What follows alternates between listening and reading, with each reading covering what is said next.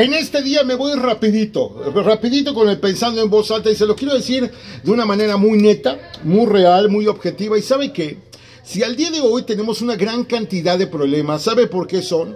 Porque nos encanta complicarnos la bendita vida, nos encanta complicarnos. Usted tiene sed, ¿qué hace? ¿Qué hace si usted tiene sed? ¿Se pone a pensar en una marca de agua? No, toma agua, punto. Si usted tiene hambre, come. Si usted quiere algo, lucha y lo consigue. Si usted no está decidido, se detiene, lo piensa y toma la mejor eh, opción para lo que es su vida.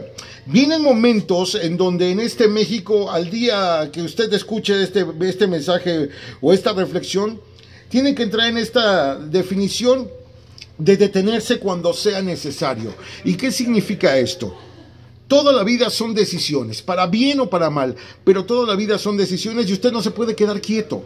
Deténgase, pero para reflexionar en lo que tiene que hacer. Hay cuatro procedimientos obligados que yo le insisto toda la vida. Deténgase, analice, toma decisiones y actúe de manera inmediata, por favor, porque de lo contrario va, ¿sabe qué va a pasar? Se va a quedar usted en la puerta y no va a permitir que nada salga ni que nada entre. Así que el día de hoy deténgase Analice, toma decisiones y actúe. Se lo voy a pedir de la manera más atenta. Ay, por favor.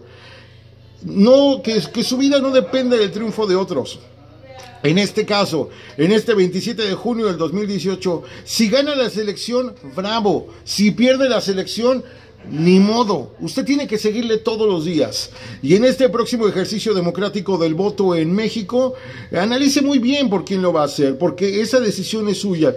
Y al día de mañana, si gana su candidato, felicidades, pero si pierde, también a machine, ¿eh? No esté de rejón diciendo, ay, pues yo siempre creí en el otro. No, no, no. Sostenga sus decisiones y hágalas valer. Porque finalmente esto es lo más importante de la vida. Vivirlas con todas las ganas del mundo, decidiendo, tomando opciones y siempre viendo que esta vida es hermosa, es linda y es una fascinación si usted así lo decide. Si no, hágase un ladito que en esta pista de aterrizaje y de despegue, si usted se queda ahí, está estorbando. Hágase un ladito porque muchos estamos dando lo mejor de nosotros y abriendo las alas.